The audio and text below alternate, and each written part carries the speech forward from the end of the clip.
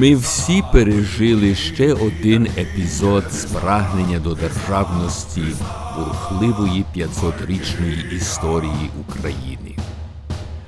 Чотиримісячні акції протесту на Майдані проти корупції режиму Януковича, російська анексація Криму в березні 2014 року нагадує всім нам про те, як важко зберегти свободу і демократію. Наші пластуни в Україні відіграли провідну роль на Київському майдані, а також у Львові, у Тернополі. Чорноморці в Києві були у перших рядах протестів проти режиму. Вони співали свою курінну пісню Поморю, поморю. Пісня, яка представляє нашу варязьку спадщину. Ми за нами війни вітер віє, Христа, Христа, Христа, Валькія.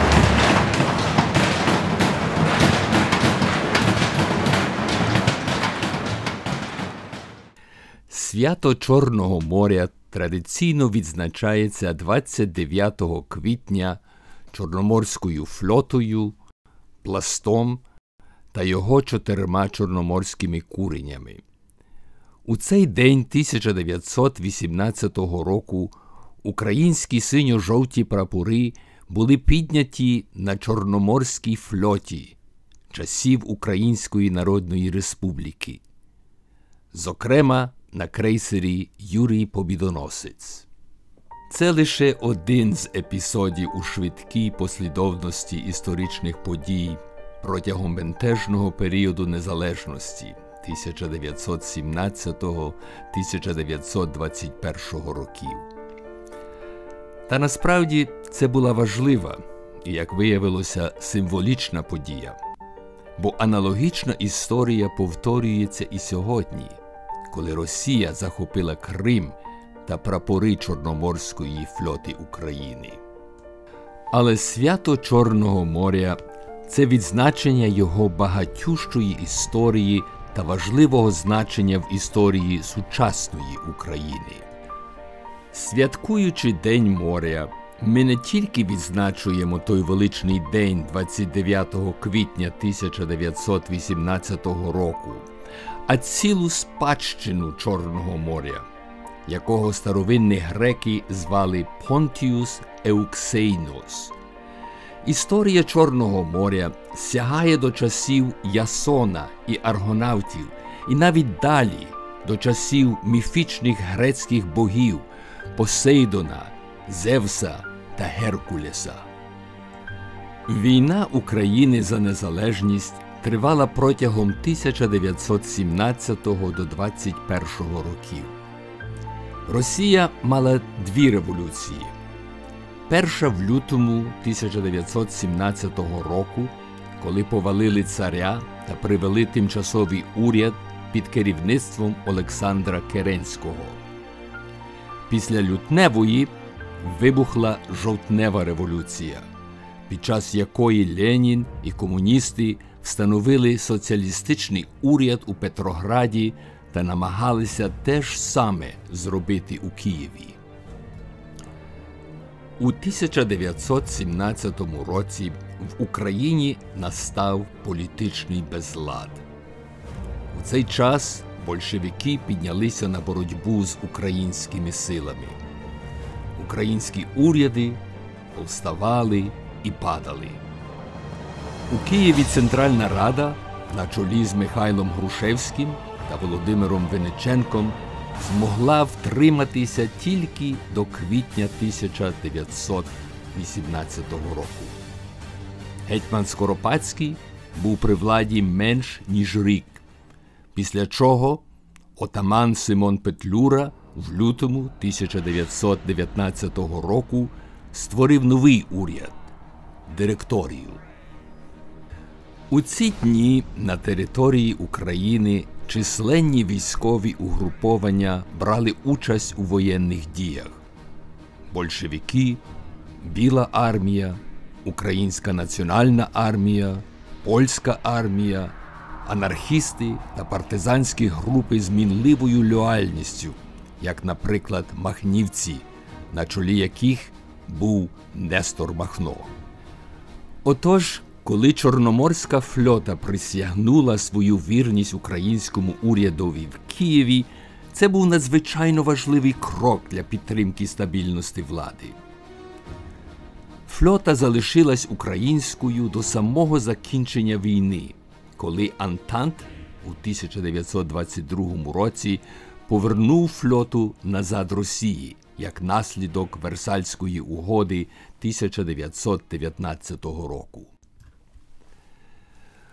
Про історію Чорноморської флоти тієї епохи ми багато знаємо сьогодні завдяки Святославу Шрамченку, офіцер-лейтенант крейсера Юрій Побідоносець, який у час, коли прапор був піднятий 29 квітня 1918 року, перебував у самій гущавині подій.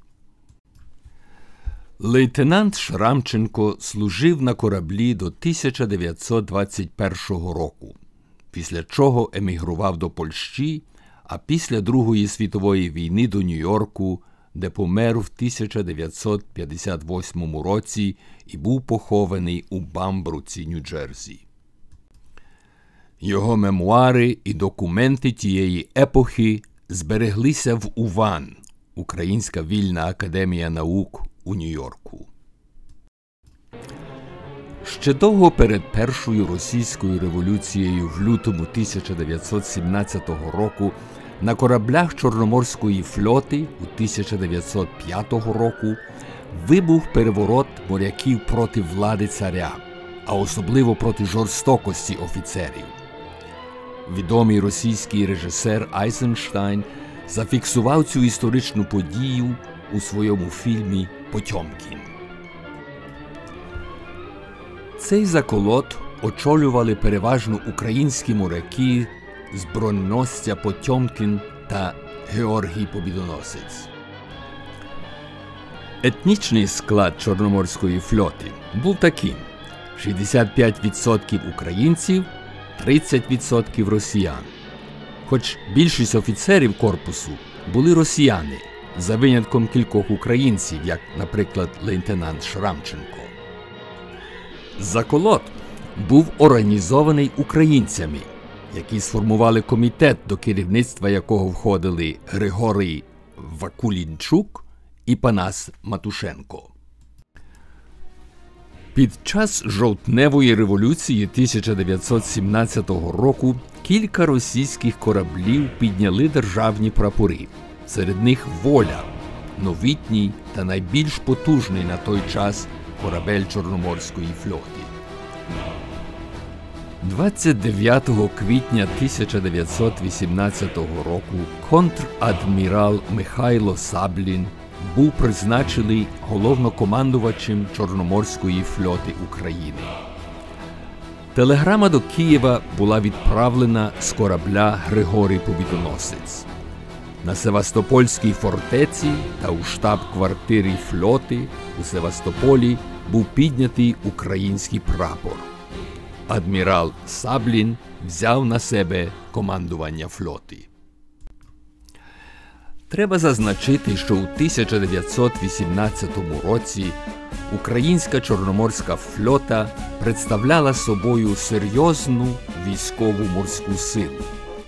До її складу входили 9 лінкорів, 7 крейсерів та численно інших суден. Штаб-квартира Чорноморської флоти, всі військові установи і укріплення були у руках українців. На жаль, історія Чорноморської флоти закінчилася погано. У грудні 1918 року, коли військово-морські сили Антанти Англії і Франції наближалися до Севастополя, вони захопили Чорноморську флоту і згодом передали її військам Білої армії. В українських руках залишилася лише невелика кількість морської піхоти. Незважаючи на це, Українська військово-морська влада проіснувала ще до 1921 року. Флоту було відправлено в Стамбул, де її повільно демонтували, а решту вислали до Росії. Від того часу пройшло 70 років, поки Україна знову проголосила свою незалежність 24 серпня 1991 року. Українська флота і військово-морські сили України були створені наново наступного 1992 року. Але Росія не була готова відмовитися ні від контролю флоти, ні від контролю Криму. Сучасна історія військово-морських сил України почалася 1 серпня 1992 року за наказом президента України Леоніда Кравчука. За цим послідував тривалий та суперечливий розподіл радянської чорноморської флоти між Україною та Росією. Це сталося лише в 1997 році, коли кораблі і устаткування Чорноморської флоти були офіційно розподілені між двома країнами. Новий російський флот зберіг свою історичну назву Чорноморський флот. Він базувався на Кримському півострові на основі 20-річної оренди до 2017 року. За президента Януковича цей час було продовжено до 2042 року. З 1997 року більшість українських військово-морських сил було виведено зі складу флоти або утримувалися не в найкращому стані. До 2009 року лише фрегат Гетьман Сагайдачний був здатний на тривалу морську місію. У 2014 році, час гострої кримської кризи, Росія анексувала Крим з усією інфраструктурою українських військово-морських сил. 12 із 15 тисяч українських моряків, базованих у Криму, перейшли до Росії або зовсім подали у відставку з військової служби. Україна також втратила контроль над великими складами боєприпасів. Росія також має контроль над принаймні 12 із 17 великих військових кораблів. Основна військово-морська база Чорноморської флоти України розташована тепер на північ від Одеси.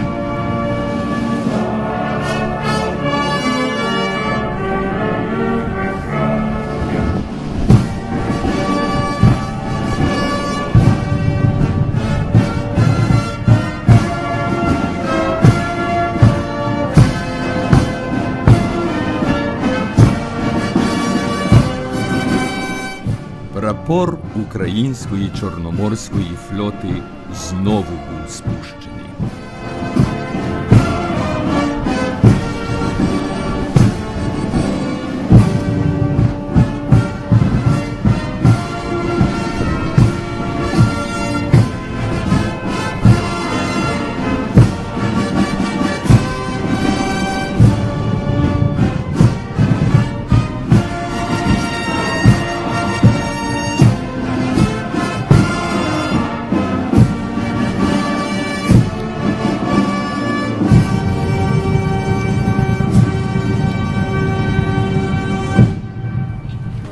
Урочисто вишикувавшись на подвір'ї військово-морської академії в Севастополі, 250 українських морських курсантів проспівали демонстративно національний гімн України та відмовилися приєднатися до російської військово-морської команди.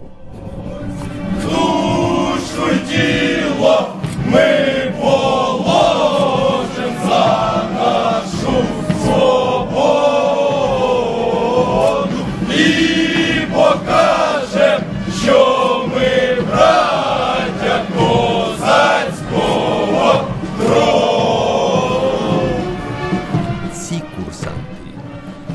наші майбутні офіцери, є надія і України.